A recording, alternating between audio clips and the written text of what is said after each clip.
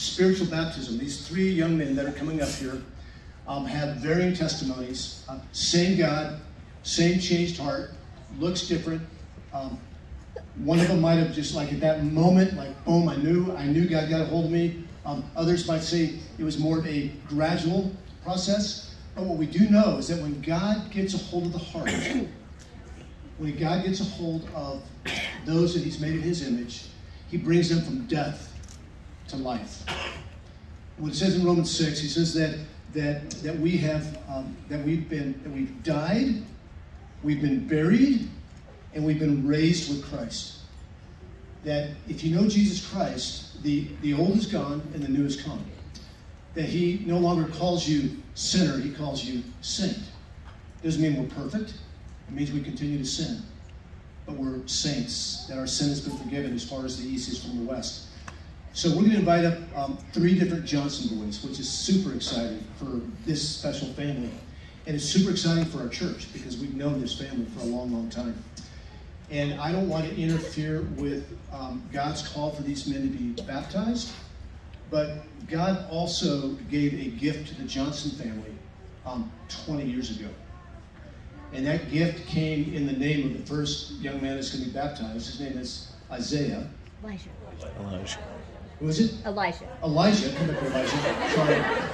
Yeah, I'm looking at you after looking at your brother, and you got way too many like, sound, similar sounding names. But Elijah, 20 years ago, um, was born. So we're going to actually sing Happy Birthday. Can we do that in church before baptism? Let's do it. Okay, ready? So we're going to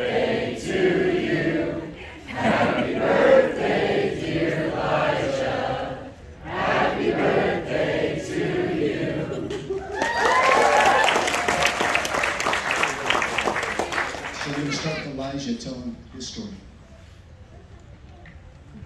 Hi, everybody. Thank you for singing for me. Um, didn't sound too bad, so it's also really good. Um, so, as you know, my name is Elijah Johnson. I am the oldest of four boys, and most everyone here probably knows my parents, Greg and Well.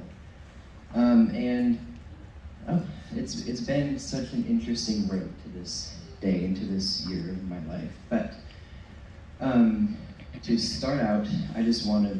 Ho- I hope that my story shows a victory over darkness, but not my own intuition, but through God's work through me. Because oh, if it wasn't for Him, I don't know where I'd be. So, to start out, um, I I knew I met Christ and slowly started to accept Him from eighth grade on. Before that, I was diagnosed with a rare cancer, genetic disposition, which just a lot of words for saying I'll probably get cancer one day in my life.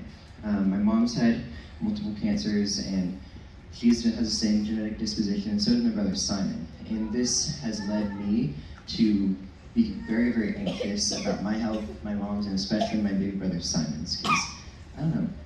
What, thinking about him getting sick sounds very, very terrifying. Um, so, at, for a very long time in middle school, I was anxious um, and I was putting myself above others. And I um, was doing this out of self preservation and selfish just nature and sinful nature to keep myself safe and prevent the hurt that this genetic disease could cause. Um, and I would put myself above others, I would demean others just for the sake of my own reassurance, for the sake of my um, well being.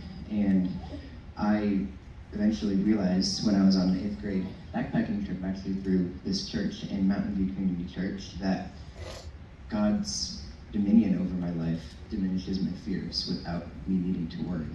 Um, I realized that He has provided everything that I need completely through my life, and that I don't have anything that I have now without Him. Um, and I knew that I must accept Christ and put Him first to live like Him and to treat others as He loves me because that is how He has called me, despite my anxieties and my concerns around my brother's health or my mother's or mine. Um, and on top of that, my after I came back from my eighth grade trip, um, I started getting really serious in the flute lessons. Um, I'm a pretty big flute player. That was one of my hobbies, and um, I went to lessons every week with my grandma, um, and he was definitely one of the closest people I've ever seen love like Christ. Um, and I got to spend multiple hours with her every week, um, and he was incredible. Um, he is definitely one of my favorite people in the world, um, and he always challenged me to do the same thing um, and let God rule over my life because he knew nothing was better. So I received Christ through the eighth grade trip, catalyzing everything, and my grandma and my parents leading me in the same direction that this trip started. And I acknowledged my sin and put Christ first, but only with his help. It was never my own intuition. And then I realized that I actually really love listening to other people's stories, and I love to see how God has shaped them. Um, and for the longest time, I was only concerned about myself and my own life because of all the anxiety I had built up. Um, and then I also gave all my selfish desires over to Him, for I know that only He can redeem me and give me the Spirit to live for Him. So that's where I'm at today. Of course, it's ever changing and fluctuating, but this um, is my story, and this is how I got to be baptized here today on my birthday.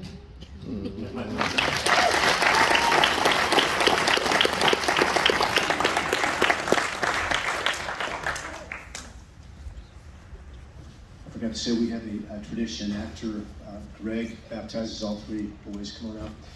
He will say, I baptize you in the name of the Father, Son, and Holy Spirit. He will put his son all the way underwater, signifying his son's uh, death, burial and death, and resurrection.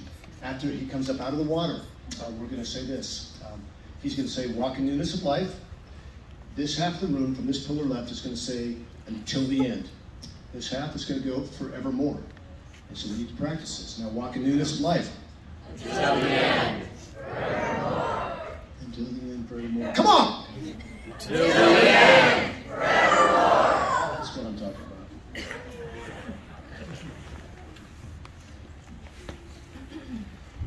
Just testing, to make sure it's working. It is. All right. Elijah David Johnson. It is our pleasure to baptize you in the name of the Father, the Son, and the Holy Spirit. Elijah, now walk in newness of life. Until the end, forevermore.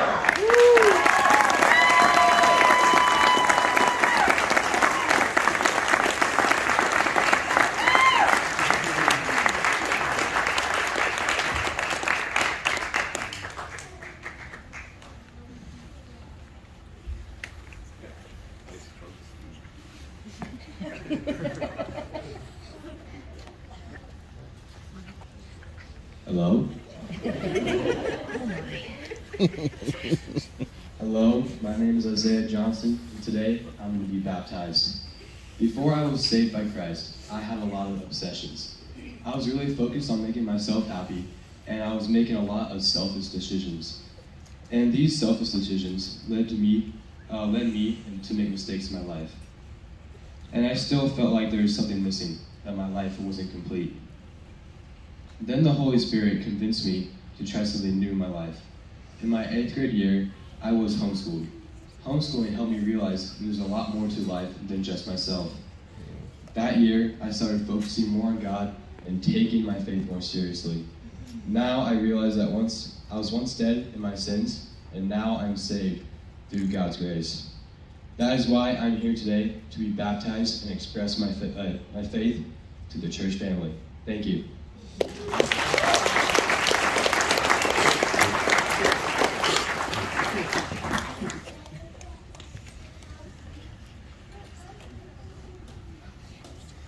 And sound good?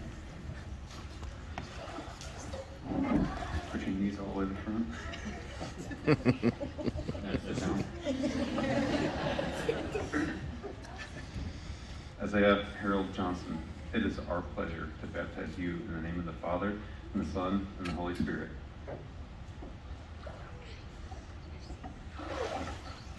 Now, Isaiah, walk in newness of life. Until the end, forevermore.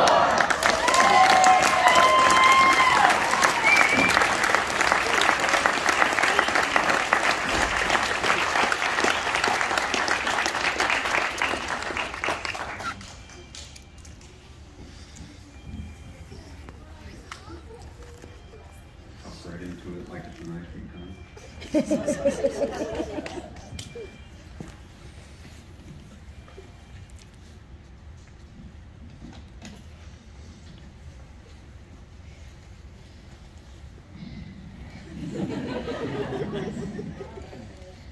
name is Simon Johnson, and I have three older brothers. Uh, they have been very good to me, and my testimony is very similar to Isaiah's. In the past few years, I have had new obsessions that demanded my time. To say these obsessions didn't control me would be a lie. I've come to show that, that God has helped me think about how I spend my time and how life is not all about me. I want to bury these addictions to my own pleasure with physical baptism and spiritual baptism. I had known Christ since I could walk, but it was my choice to follow him or not. In sixth grade, I cleared my mind, and God placed thoughts in my head about my purpose on this earth and why He created me. When plans didn't go the way I wanted them to, I felt like a piece of me was missing. I started comparing myself to others and often complaining to my parents that they somehow cheated me, ultimately, ultimately leading to disappointment. I always wanted more, and the Holy Spirit helped me recognize this as vanity. Before I accepted Christ, trials were my kryptonite. I would give in, complain, and throw a fit. Now I realize that even though I may not in the moment, God is helping me and not trying to hurt me or crush my spirit. So I have come to no longer live in the sin that I have died in, but I know I can't do it alone. That is why I thank God for my wonderful parents and brothers who helped me grow up with this church. And I go get wet.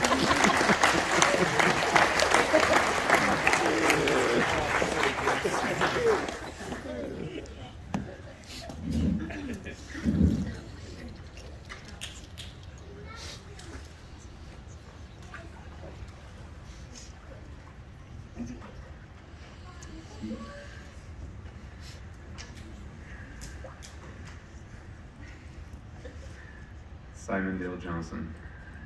It is our tremendous joy and pleasure to baptize you in the name of the Father, and the Son, and the Holy Spirit.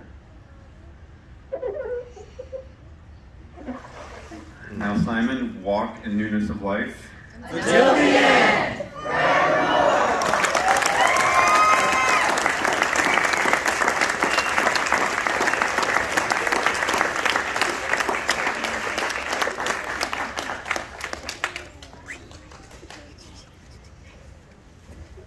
Praise God. It doesn't get any better than that. Johnson family, love you guys.